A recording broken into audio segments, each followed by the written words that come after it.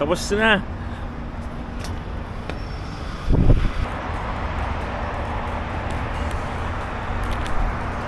Guys, kakain kami ngayon dito sa Shuaya House.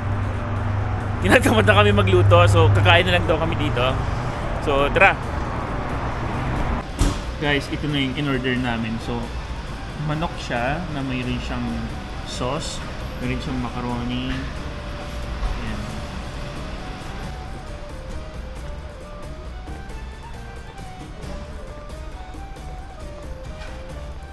Yan, pwedeng umupo dito, pwede rin umupo dito.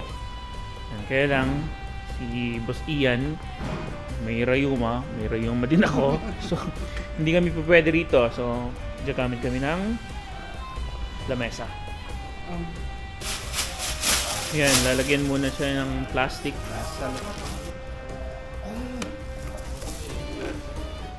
Dami na. Lintik na yan. Dami pa lang yan.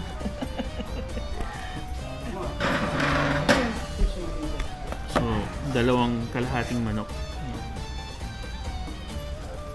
Mm. Sarap. Meron siyang ganito. Meron siyang Tomato sauce. tomato sauce. Sauce Tapos yung sili. Walang sili. Yan o, sige. Ah, meron pala. Okay, nasak. Kumbaga sa atin, lechon manok. No? May sauce eh. Yun nga, nilagyan lang siya ng sauce. Sama to? Be! Babad mo kabayan.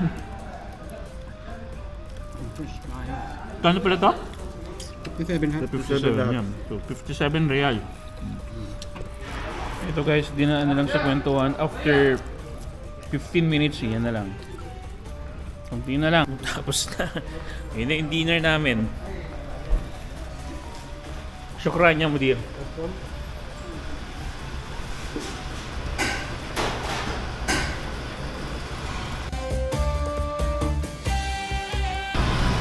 Arabic pala, paano maintindihan?